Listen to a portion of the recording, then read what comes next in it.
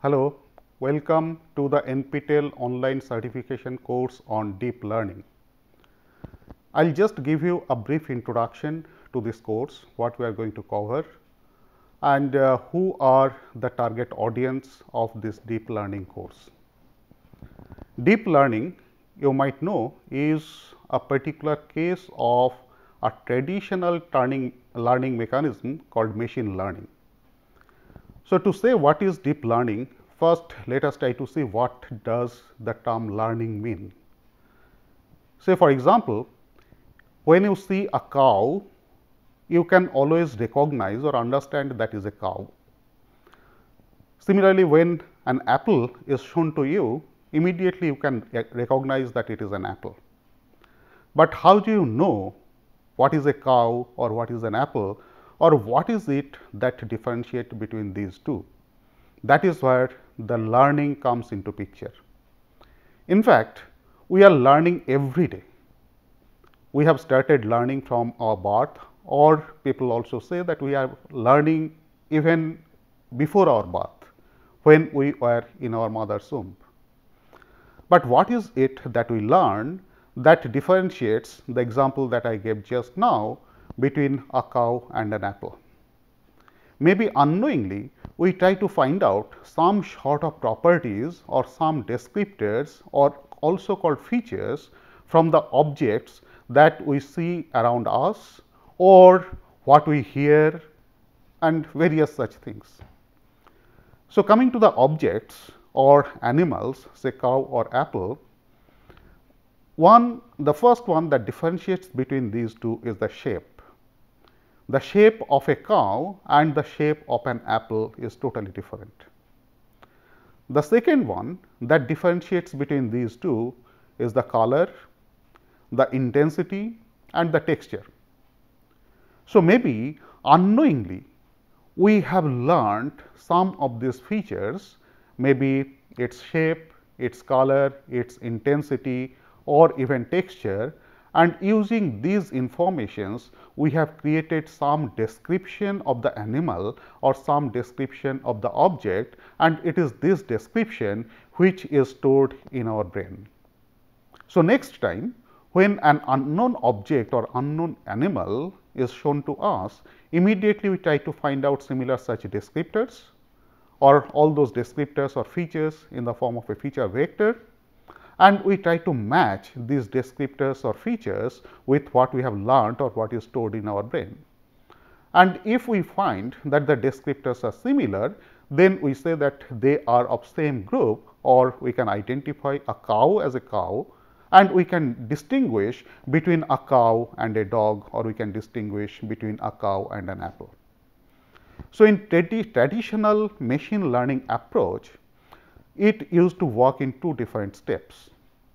In the first stage, we used to find out or we used to compute some of these features which we used to say handcrafted features and using these handcrafted features in the second phase we tried to learn, we tried to train the uh, machine learning model which could gather information of the object from these features and after the model was properly trained then given, given similar such features from an unknown object or an unknown animal, the model could identify what that unknown animal or unknown object is.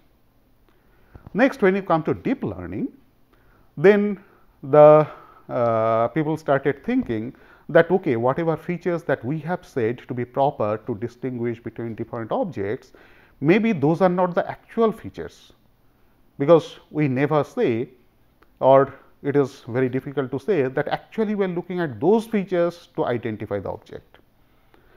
So, people started believing that let the machine itself understand what features or what to look for to identify different objects or to identify different animals or to identify different signals that we get all around us. So, that is the concept of deep learning, where you feed the input data as raw data, not the features and the output of the model will be the decision that for which the machine or the model has been trained. So, very often these deep learning models are actually implemented using neural networks. So, when you, when you talk about machine learning, traditional machine learning, there are different approaches like Bayesian learning rule, uh, neural network, linear regression and all those different things. When you come to deep learning, it is usually the neural network or deep neural, network. There are different neural network models like convolution neural network, recurrent neural network, Boltzmann machine and all those different kinds of models. So, when you say deep, how deep it is depends upon how many layers of the neural network we have. And in every layer of the neural network, you get some abstract representation of the input to that particular layer.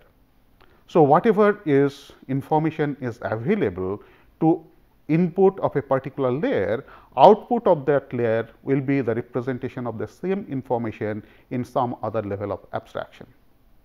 Say for example, in case of deep neural network or in say convolutional neural network, the input may be the raw image and the output input to a particular layer might be the raw image and output of that particular layer may be the pixel abstraction representing that what are the edges or what are the corners present in that particular image.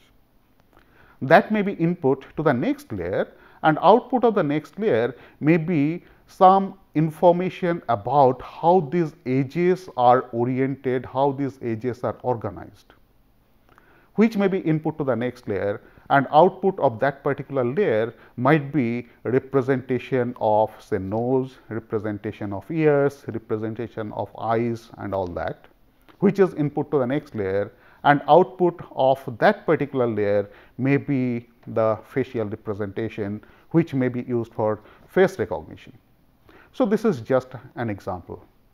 For different types of neural networks, deep neural networks, they work with different such mechanisms, but the mechanisms are more or less similar. So, when you train these neural networks or deep neural networks for any application, during training phase, there has to be some error criteria. That means, when I am training, maybe initially the output of this model may not be what I expect for some given known data. So, that leads to some error. So, the way you train the neural network is by a mechanism called back propagation mechanism or gradient descent approach.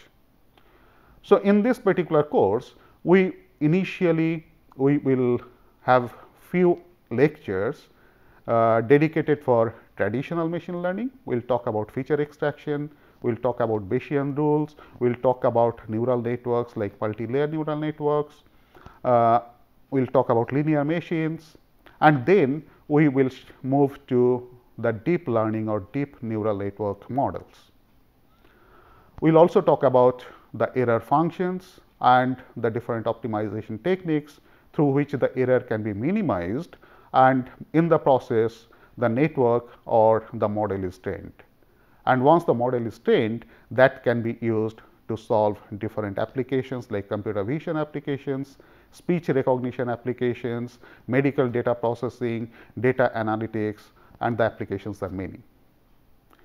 We will also see that using today's deep learning techniques, it is also possible to synthesize images, it is also possible to synthesize video which are almost like natural image or natural video.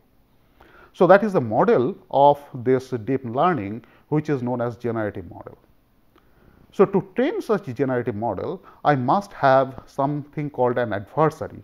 The adversary will tell the generator that okay, what you have generated or what you have synthesized does not look like the natural image or the natural video.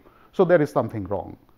So, that is an error mechanism. This error is fed back to the generative model, so that the generative model improves itself. It learns a better representation or later uh, better uh, synthesis of the natural images or natural video. And once it is properly trained, then that particular generative model can be used to generate synthetic image or synthetic video. So, this generative model along with the adversary that is what is known as GAN or generative adversarial network We will also dedicated few lectures on this model itself. To attend this course, it is better that if you have some preliminary knowledge of the linear algebra, some preliminary idea of signal processing and also differential calculus. Though I will cover all the topics from sufficient basics that even if you do not have the advanced ideas, the advanced knowledge of all these linear algebra or differential calculus or the signal processing, uh, hopefully will not face much of problem to understand the topics that I will cover. So, this uh, particular course has been designed for the undergraduate students as well as the postgraduate students and even the practicing engineers, the practicing scientists from industries or the research laboratories will also find this course to be useful. Thank you and welcome again to this online certification course on deep learning. Thank you.